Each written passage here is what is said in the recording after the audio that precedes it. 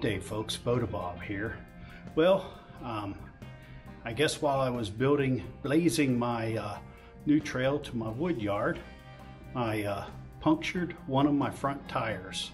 And so I've been thinking about getting some new tires. Um, the tires that were on there were starting to uh, show their wear. And so I could have gone with uh, ag tires like I had on there before, but I have uh, turf tires on the back and I bought a pair of snow chains for my front tires if I should need them.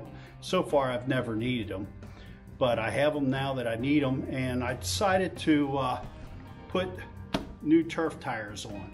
So I started to mount this tire on this side here that I'm at. I thought of something that I'd like to share with y'all. This was shared with me. This information was shared with, to me or given to me years ago.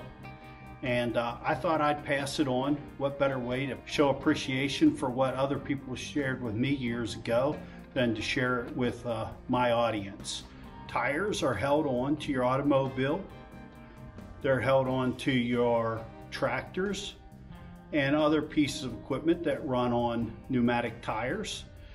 Um, you have four bolts that keep them secure to the hub. Now, a lot of people might believe that the bolt is what the tire rides on, but it's not actually the way a wheel and a hub work. The truth is, the load is bore by the wheel on the hole.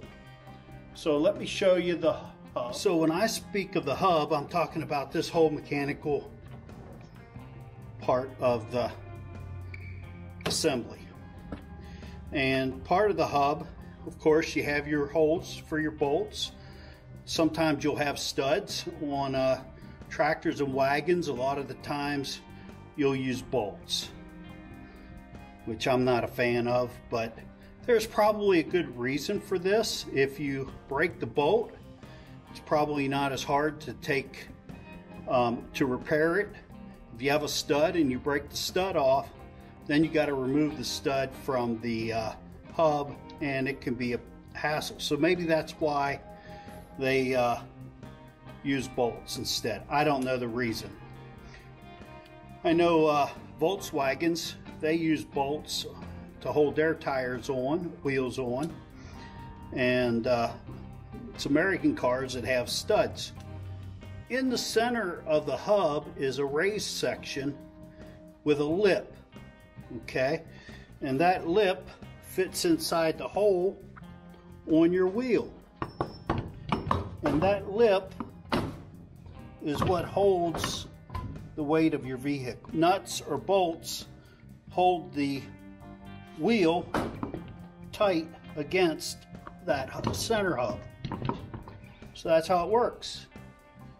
If you have any questions, drop them down below. I'm going to go ahead and finish getting this thing mounted up.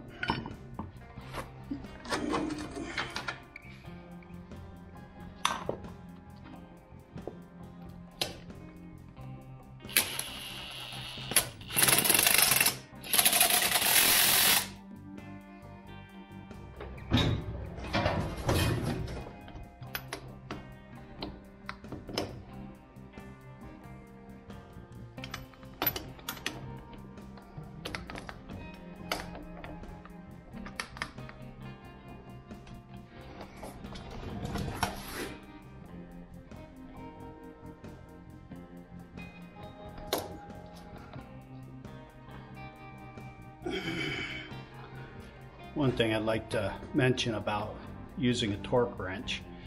Um, I know this is old information for a lot of people is when you torque um, bolts to their prescribed specification you need to uh, sneak up on the end result so if you need 100 foot-pounds of torque or 100 pound-feet of torque. I forget which way it goes. I think it's pound-feet.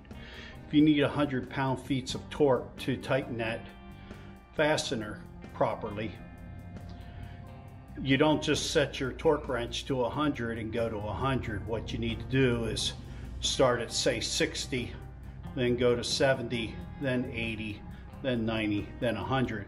And you don't do that on one bolt.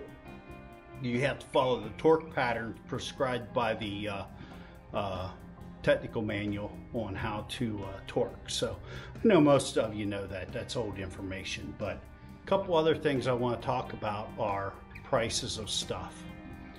Uh, I drove by the gas station the other day and saw that here in Pennsylvania, in my area, at the Sheetz, uh, it's $5.99 a gallon. That's a lot of money for a gallon of diesel. This is the second pair of tires that I've put on my uh, Kubota BX 1850. And uh, the tire shop had my tires in stock. Before I had ag tires on the front and I switched and I kept them on because of snow plowing in the wintertime. I figured that the uh, uh, ag tires would give additional uh, traction uh, for pushing the snow. I don't know what's going to happen with this. As you all know, I use the uh, Terra, Terra Grip uh, traction device on my tractor when I plow snow. Uh, but I do have a set of chains for the front if I need them. So that's why I figured I would go to the turf tire, be a little easier on my uh, grass. In, one inner tube was 28 bucks and one tire was 45 bucks I want to say. So it was over um, $125 including tax to $130. So if you need I, I don't know what to advise you. I'm just telling you that the price for parts and tires, things like that have gone up dramatically. And um, so be aware, I got a little bit of sticker shock there when I uh, went to buy these. Uh, I didn't recall them being nowhere near this expensive the last time I bought tires. So, so I'm gonna get on out here, go mow some grass. I'd like to ask all my friends out there to do me a favor, smash that like button, hit subscribe, share this video with a friend. And I want to thank you all for all of your support over the years. Until next time, enjoy the journey.